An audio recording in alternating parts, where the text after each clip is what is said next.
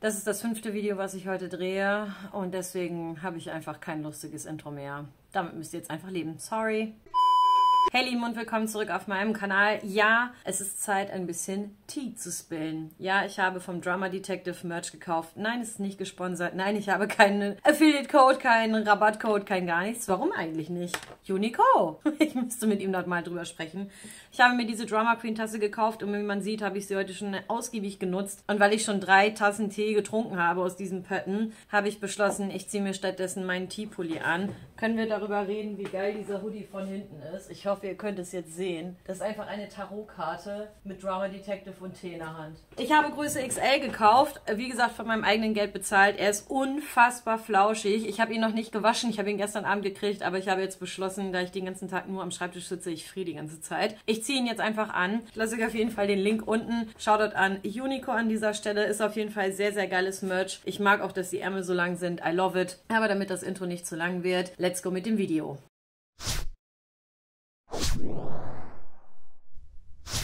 Dies hier wird der versprochene Anti-Haul Indie Brand Edition, denn ich finde es immer ein bisschen schade, dass in den Anti-Hauls natürlich die ganzen großen Make-up-Launches von den ganz großen Make-up-Brands immer am meisten besprochen werden. Und ich, ich habe deswegen letztes Mal gefragt, ob ihr Lust habt, ein Indie Brands Edition sozusagen zu haben. Indie Brands sind Brands, die eben keinen so unfassbar großen globalen Partner haben, zum Beispiel neu gegründet worden sind oder einfach eben noch nicht so bekannt sind, wie auch immer. Und Indie-Brands finde ich deswegen spannend, weil die ganz oft ein richtig tolles Preis-Leistungs-Verhältnis haben. Als allererstes fällt mir dazu natürlich Midas Cosmetics ein, von denen habe ich ja auch schon ganz viele Produkte ausprobiert und war sehr begeistert von vielen Sachen. Ich lasse euch die Review dazu auf jeden Fall unten in der Infobox. Genauso wie mein Link zu meinem Instagram. Falls ihr mir da noch nicht folgt, tut das gerne für mehr tägliches Chaos und so weiter und so fort. Auch dort wird täglich von mir was hochgeladen. Es wird ein bisschen Tigesbild und so weiter und so fort. But mostly seht ihr mein Chaos innerlich und äußerlich. Aber I mean, I mean, if you're up for that,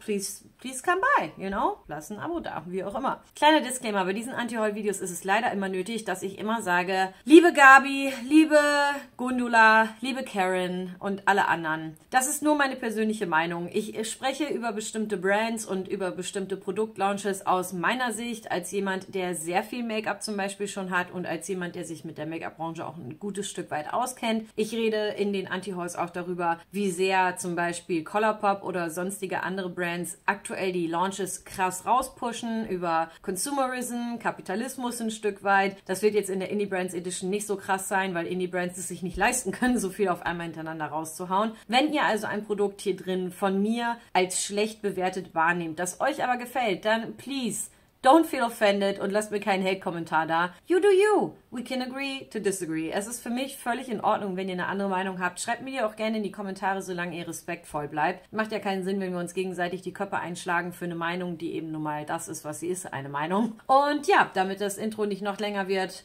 würde ich mal sagen, wir fangen mit dem ersten Produkt an. Und das ist eins, da freue ich mich unglaublich drüber, denn ich hatte ja gerade schon Midas Cosmetics erwähnt. Midas Cosmetics ist von Rocio Sea, beziehungsweise Rocio Cervantes, heißt sie ja eigentlich, mitgegründet worden. Das ist die Queen of Rainbow Eyes, falls ihr euch noch erinnern könnt. Und die haben eine Schwestermarke, Drenched Cosmetics. Und Drenched Cosmetics ist jetzt in Collaboration mit meiner Freundin Ariel Monet mit einem Pigment rausgekommen. Ich habe euch Ariels Looks ja schon ein paar Mal gezeigt. Gerade ihre Colorful Series fand ich so, so, so, so gut. Einfach nur um zu showcasen, dass auch schwarze Menschen natürlich bunte Farben sehr gut tragen können. Sie sah stunning in einem aus und ich freue mich so sehr für sie, dass sie mit so einer coolen Brand zusammenarbeitet. Wie gesagt, sie sind mit einem Pigment rausgekommen. Das ist allerdings eher ein Pigment-Hybrid, kann man sagen. Es heißt Soleil und es hat einen grün-goldenen Shift. Sehr, sehr interessant. Also es sieht so ein bisschen aus wie so altes Gold bzw. grün mit einem goldenen Schimmer, je nachdem wie der Lichteinfall ist. Und man kann es natürlich als ganz einfachen Pigment wie ein Lidschatten zum Beispiel benutzen. Man kann es natürlich auch, wenn man es mit einer Lösung verflüssigt, als Liner benutzen, was auch sehr, sehr schön aussieht. Und man kann es natürlich auch, wenn man möchte, zum Beispiel in ein Lipgloss mit reinmischen, als auch in sonstige Flüssigkeiten, wenn man das möchte. Drench Cosmetics ist cruelty-free, das heißt, da müsst ihr euch keine Sorgen machen, wenn ihr tierversuchsfreie Produkte nur supportet. Ich selber habe direkt zwei zwei davon bestellt und auch ein paar andere Produkte von Drench, weil ich finde, dass die sehr, sehr coole Produkte auf jeden Fall haben. Ich fand zum Beispiel die Faux Mink Lashes, die sie haben, fand ich ein paar sehr schön. Das habe ich mir jetzt auch noch mitbestellt zusammen, weil ich Ariel natürlich auch unterstützen wollte mit ihrem Soleil Pigment.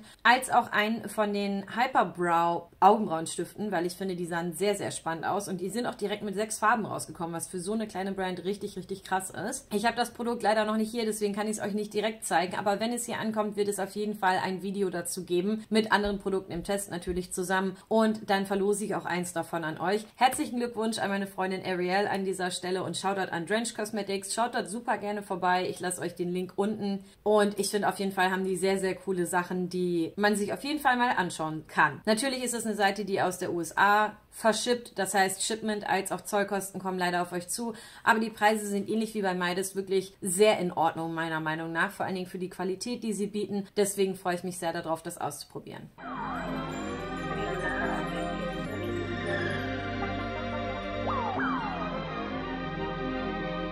Als nächstes kommen wir zu der Brand Kaleidos. Und Kaleidos ist mit einer ganzen Collection rausgekommen, die allein schon deswegen meine Aufmerksamkeit bekommen hat, weil ihr wisst, ich mag alles, was in so Bordeaux-rote und lilane Töne geht. Und ja, also diese Collection sieht einfach wunder wunderschön aus, wenn man sie einmal hier im Ganzen sieht. Kaleidos ist eine Brand, die aktuell wirklich ein bisschen von sich sprechen macht, was ich sehr, sehr cool finde. Es ist eine Asian-owned Brand, die in Shanghai ihre Heimat hat. Und das finde ich besonders spannend, denn sie sind angeblich cruelty-free und vegan. Wie das funktionieren soll mit der Non-Cruelty-Free Policy, die China eigentlich hat, also Mainland China zumindest, finde ich sehr spannend. Ich nehme das allerdings jetzt erstmal als solches hin. Sie machen Global Shipping, das heißt, man kann auch in Deutschland das bestellen. Und sie sind aus zwei Gründen mir aufgefallen. Erstmal natürlich wegen der wunderschönen Collection, als auch weil sie eben aus Shanghai kommen. Denn Fun Fact, von den Jahren 1999 bis 2001 habe ich in China gelebt, nämlich in Shanghai, weil mein Vater dort einen Job hatte und meine Familie mitgezogen ist. Wir haben nur zwei Jahre gelebt und es ist wirklich eine faszinierende Kultur, ganz tolle Menschen und das hat mir sehr viel gegeben. Das ist auch eine Stadt, die ich definitiv nochmal wieder besuchen möchte. Davon mal ab muss ich aber auch sagen, dass einfach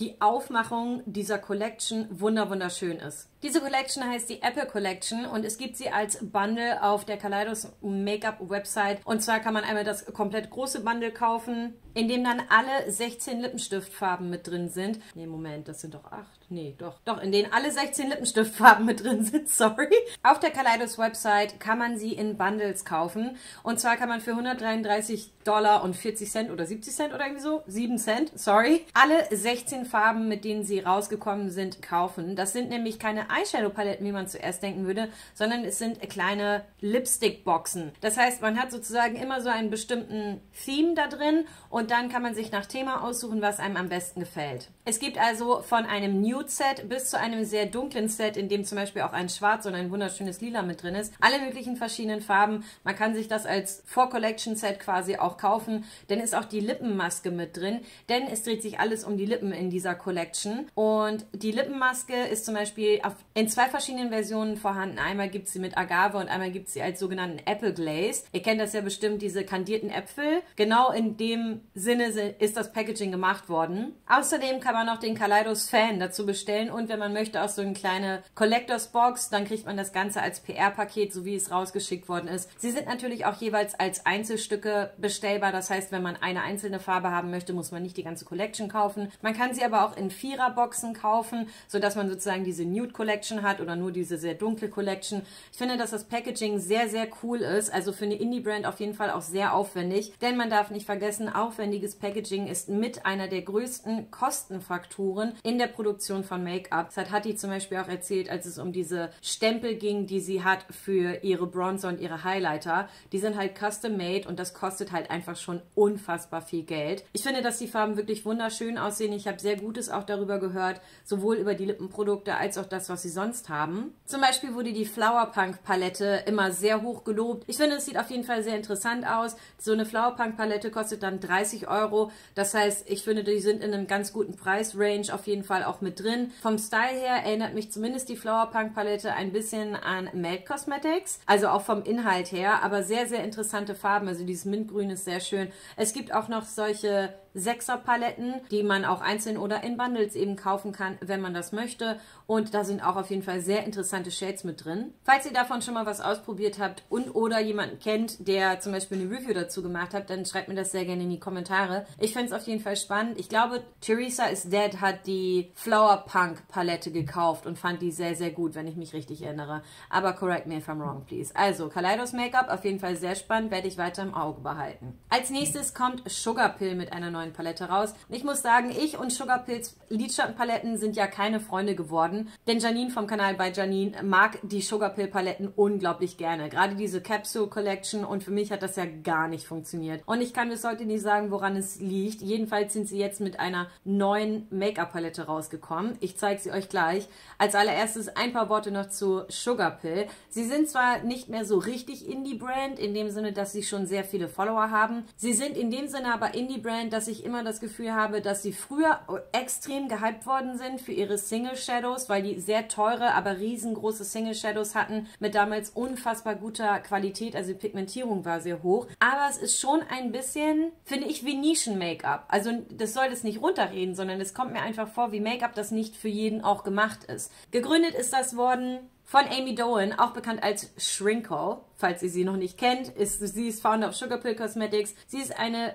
vietnamesische Cosplayerin, so beschreibt sie sich zumindest selber, und macht immer super, super krasse Looks. Und ich finde, das, was ihre Essence sozusagen ist und wie ihre Looks sind, das findet sich auch in ihrem Packaging als auch in den ganzen Farben, die sie in ihren Produkten hat, immer wieder. Und diese Collection, die jetzt rausgekommen ist, beziehungsweise diese Palette jetzt ist eine Nine-Pan-Palette und das ist eine typische Rainbow-Palette. Passt also super gut zu Sugar Pill. Vorne drauf ist so ein, wie so eine Minecraft-Katze oder sonstiges.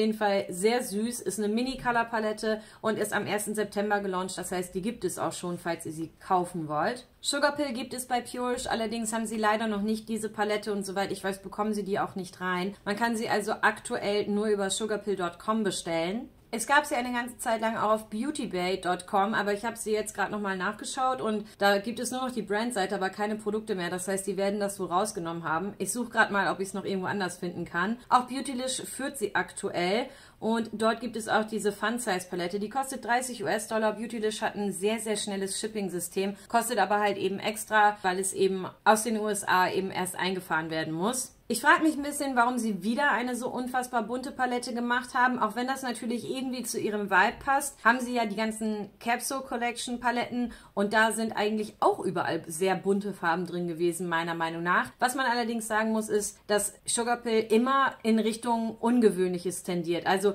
es ist zwar eine Rainbow Palette, aber eine Rainbow Palette, die irgendwie auch noch einen sehr besonderen Vibe hat, meiner Meinung nach. Also da ist zum Beispiel so ein eher khakifarbenes Grün mit drin, dann ist das Peach, was da ist, ist halt, sieht so aus wie so ein bisschen Pastell-Peach, sage ich jetzt mal. Also es ist alles nicht ganz so krass Rainbow Poppy, wie man das vielleicht sonst kennt. Und für die Leute, die Sugar Pill gerne mögen, wäre das vielleicht eine Palette, die sie haben wollen. Ich persönlich bin mit meiner Carnival 3 Palette, als auch jetzt mit der Carnival 4 von Stacey Marie MUA zusammen mit Be Perfect Cosmetics absolut zufrieden und habe genügend bunte Farben bis an den Rest meines Lebens. Das heißt, für mich ist das definitiv ein Pass von Me on That. Außerdem mochte ich halt wirklich die Lidschattenqualität, mochte ich nicht. War nicht meins. Wirklich, war nicht meins. Dann haben wir hier noch eine ganz besondere Collection und zwar von Besame Cosmetics. Von denen hatte ich tatsächlich vorher auch nichts gehört, aber sie haben wirklich ein, für einen kleinen Trubel gesorgt in der Make-up-Welt mit der Collection, die sie gedroppt haben. Denn sie haben eine Make-up-Collection mit Disney gedroppt und haben da Limited Edition Items rausgebracht, die wirklich so wunderschön sind. Also es sind welche von Cinderella dabei, es war Mulan dabei, es war,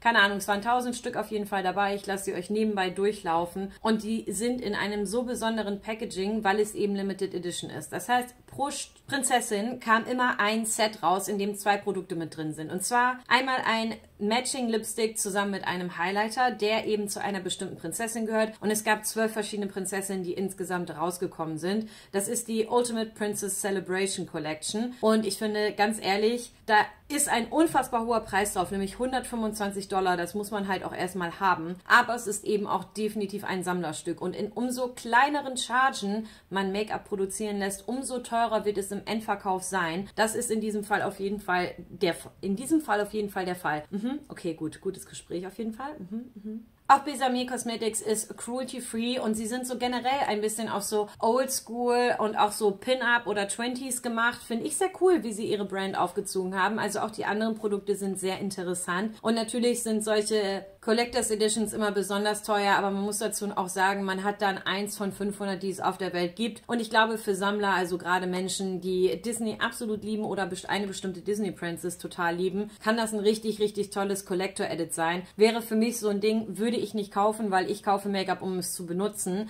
Aber schön sieht es auf jeden Fall aus und ich glaube so, man kann es dann sicherlich auch sehr teuer weiterverkaufen. Ich muss sagen, dass ich zum Beispiel die Cinderella Edition gar nicht so hübsch finde. Also es ist hübsch, aber es gibt halt auch noch zum Beispiel das Set von Mulan, was ich wunder wunderschön finde, das so an diese chinesische Malerei angelehnt ist. Das von Ariel hat auch einen super schönen Compact, finde ich. Also sie haben sich wirklich sehr viel Mühe damit gegeben und man sieht die Liebe zum Detail und dafür bezahlt man natürlich dann auch einen gewissen Preis. Für mich nichtsdestotrotz definitiv ein Pass for me on that, zumindest was diese Collection angeht. Aber generell finde ich, dass die Produkte wirklich sehr süß verpackt sind und auch irgendwie kommt die sehr adorable rüber, diese Brand. Ich kann euch ja gerne mal den Link zur Instagram-Seite da lassen, dann könnt ihr mir in die Kommentare schreiben, ob ihr versteht, was ich meine. Also sie haben irgendwie sowas super fröhlich, freundliches irgendwie mit diesem 20s-Twist. Ich finde es auf jeden Fall ganz nice und äh, ja, trotzdem für Pass from Me on That für die Princess Collection, aber sehr, sehr spannende Teile. Alle Brands, die ich bis jetzt erwähnt habe, waren welche, die ich tatsächlich selber auch schon äh, kannte über andere Produkte. Diese Brand allerdings kannte ich noch vorher noch gar nicht. Und zwar ist das Tower 28. Sagt euch auch nichts, okay, gut, das beruhigt mich auf jeden Fall. Falls doch, äh, please don't yell at me.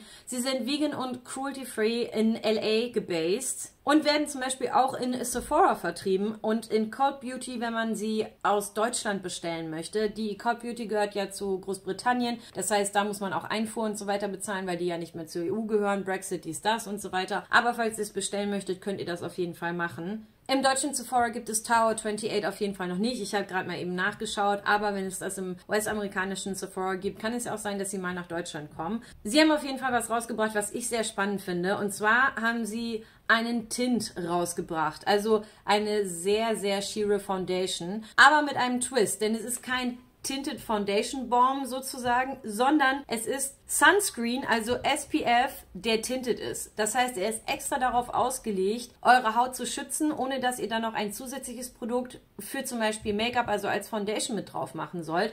Das finde ich persönlich ein ziemlich spannendes Konzept. Macht eigentlich auch Sinn, sowas mal zu machen. Natürlich ist auch hier immer wieder das Problem, ja, es mag ein SPF sein und ja, der SPF ist auch 30, was ja schon mal nicht schlecht ist, obwohl man meistens lieber 50 tragen sollte, aber davon mal ab. Aber trägt man davon so viel auf, wie man müsste, damit man auch den deklarierten Sonnenschutz bekommt? Wahrscheinlich nicht. Wenn man allerdings dezidiert einen Sonnenschutz kauft, der eben tinted ist, glaube ich, dass man noch eher darauf achten würde, eine bestimmte Menge aufzutragen. Die Frage ist nur, sieht das dann cakey aus, obwohl es eigentlich sozusagen eine Sheer Coverage hat? Ich weiß es nicht. Sie sind insgesamt mit 14 Shades rausgekommen und das ist für eine Indie-Brand auf jeden Fall schon mal einiges. Ich bin ja immer jemand, der sehr stark an Shade Ranges rummeckert, wenn ich einen guten Grund dafür finde. Bei Indie-Brands mag ich da eher noch ein Auge zudrücken und ich finde auch, dass diese Shade Range wirklich sehr gut und sehr ausgewogen ist. Also wir haben wirklich eine sehr, sehr dunkle Farbe. Wir haben auch eine sehr, sehr, sehr, sehr helle Farbe und dazwischen eben gut verteilt sozusagen zwei sehr, sehr helle, dann zwei helle, dann zwei light, dann und so weiter und so fort. Und ich finde einfach, dass das eine Shade Range ist, die man bei einer Indie-Brand auch erwarten kann, die gleichzeitig aber eben auch sehr gut verteilt ist und das muss man einfach auch anerkennen, wenn man sieht. Für mich ist das nichts, denn ihr wisst, ich bin auf jeden Fall kein Light Coverage Foundation Girl. Ich mag meins mindestens Medium Coverage. Also Full Coverage ist mir meistens zu viel, aber so Medium, Medium Plus, das ist so mein Ding. So wie die Catrice ID und die Nabla Skin Realist. Dazu dazu lasse ich die Links auch gerne unten. Und dementsprechend, das wäre, glaube ich, irgendwie nicht so mein Ding. Aber ich wollte es auf jeden Fall erwähnt haben, denn an dieser Stelle können wir mal sehen, eine Marke wie Tower 28, die wirklich, glaube ich, niemand kennt von uns hier in Deutschland zumindest. Und das soll nicht shady sein, sondern einfach wirklich etwas ist, da habe ich auch noch nie jemanden drüber sprechen hören, versus eine Marke wie Gucci, die dann mit angeblich sechs Shades auf den Markt kommt und dann nachher 22 draus macht mit einer räudigen Shade Range, die nur Miss Piggy irgendwie helfen würde. Falls ihr meinen letzten Anti-Haul nicht gesehen habt, gebt euch das gerne, wenn ihr mich gerne ranten hört, denn wow, that was, that was that was something. Und deswegen I applaud Indie Brands, denn die machen das, what needs to be done. And we love to see it. Außerdem ist Tower 28 auch schon mit Lipglossen rausgekommen. Die sind auch sehr schön, finde ich, von der Shade Range. Also falls ihr davon etwas bestellen möchtet, die haben nicht nur diesen SPF, der tinted ist, sondern sie haben auch noch andere Produkte. Und da kann man sich auf jeden Fall mal schön durchklicken und ein bisschen durchstöbern. Als nächstes kommen wir zu Wayne Goss. Und Wayne Goss, würde ich immer noch sagen, ist eine Indie-Brand, denn es, es gibt sie aktuell nur in einer einzigen Retailer und zwar bei Beautylish. Also Wayne Goss hat, glaube ich, auch seine eigene Website. Hat, hat der eine eigene Website? Moment. I will investigate. Nee, tatsächlich nicht. Wayne Goss ist ein Beauty-Make-up-Artist, also Professional Make-up-Artist, der auch einen YouTube-Kanal hat. Super sympathischer Kerl, auch ein sehr hübscher Kerl, kann man wirklich gut angucken, muss man wirklich mal sagen. Der ist 43 Jahre alt und seit über 20 Jahren im Make-up-Game professionally zu Hause. Das heißt, er hat sehr viele Celebrities auch schon ein wunderschönes Gesicht gezaubert gezaubert und hat dann irgendwann gesagt, er möchte in die Entwicklung von guten Produkten investieren.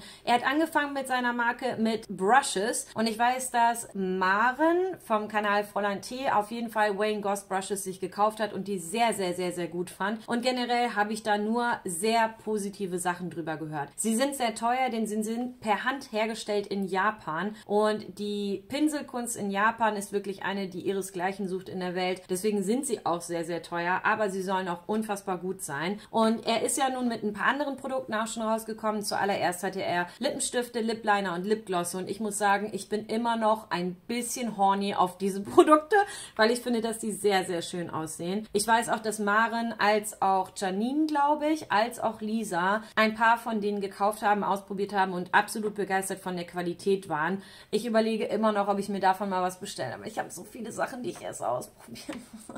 I don't know. I don't, I don't know what to do. Naja, und er ist auf jeden Fall jetzt mit einer neuen Collection rausgekommen, wenn man so sagen will. Er hat nämlich eine Sechser-Palette rausgebracht, beziehungsweise bringt sie raus, wenn ihr das Video seht, in zwei Tagen, nämlich am 5. Oktober. Und die ist so ein Burgunder-Gold-Traum. Also da könnte ich mich reinsetzen. Ich finde die so schön. Und das ist so bescheuert, denn da sind fünf Shimmer Shades mit drin, beziehungsweise äh, vier Shimmer Shades, äh, ein Metallic und ein Matt nur. Und ich liebe ja eigentlich, wenn eine Palette mehr matte Shades als Shimmer Shades hat, weil ich mit mehr matten Shades hier in der Crease zum Beispiel arbeite. Auf der anderen Seite habe ich auch schon so viele Lidschattenpaletten, dass es eigentlich auch völlig egal ist, wenn da nur Schimmer drin wären, weil ich kann ja noch tausend Sachen, in die ich auch noch reingreifen kann. Das sind ja absolut meine Farben, kann ich euch nicht anders sagen. Also wirklich wunder, wunderschön, diese Burgundy-Töne. Das Packaging ist sehr, sehr sleek. Ähm, ich finde, dass es von außen im Compact genauso aussieht wie von Hattie, die Hattie Schmidt Labs Bronzer. Moment.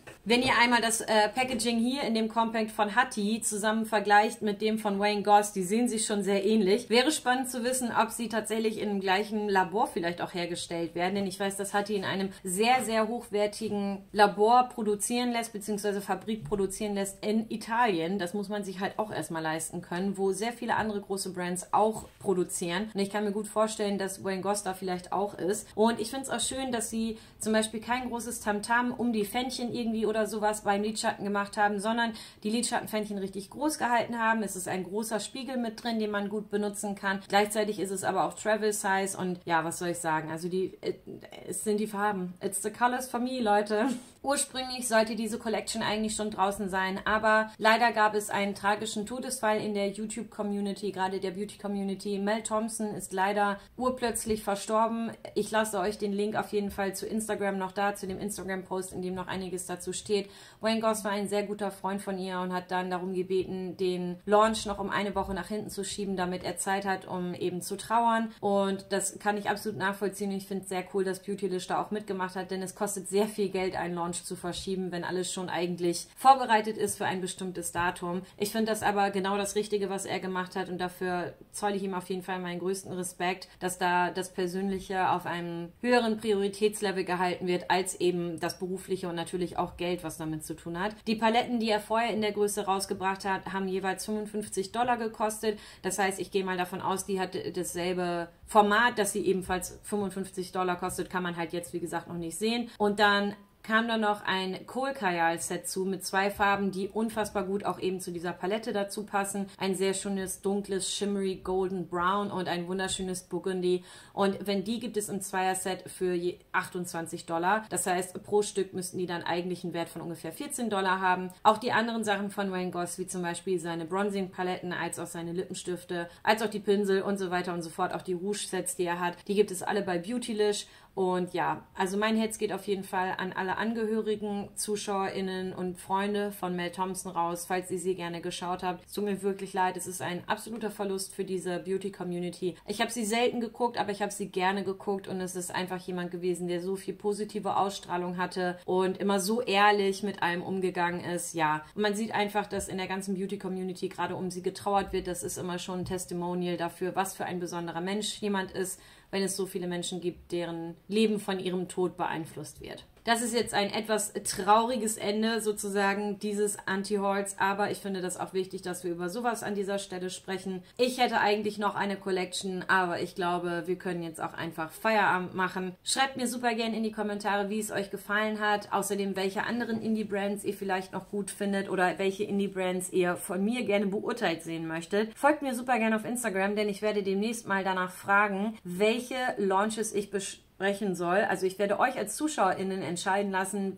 welchen neuen Launch ich im Anti-Haul gerne auseinandernehmen darf. Ich hoffe, das Video hat euch Spaß gemacht, auch wenn es auf einem more serious Note quasi geendet ist. Und ich fand es sehr cool, mir neue Brands, kleinere Brands und so weiter mal anzugucken. Es wird auch noch eine German Beauty Make-up Industry Cosmetic Lines Edition quasi geben, in dem ich mich besonders mit kleinen deutschen Brands nochmal befasse und euch da auch noch ein paar Tipps gebe. Falls ihr deutsche Brands habt, die ich eventuell noch gar nicht kenne, schreibt mir auch die gerne in die Kommentare, damit ich sie entdecken kann. Denn mit eurer Hilfe und euren Tipps habe ich manchmal schon echt so kleine versteckte Schätzchen gefunden. Deswegen vielen Dank Dank, dass ihr bei diesem Video mit dabei wart. Falls ihr es noch nicht getan habt, lasst dem Video gerne einen Daumen nach oben oder dem Daumen gerne ein Video nach oben da, so wie es euch lieber gefällt. Abonniert auch super gerne den Connect... Wow, sprechen kann ich nicht mehr.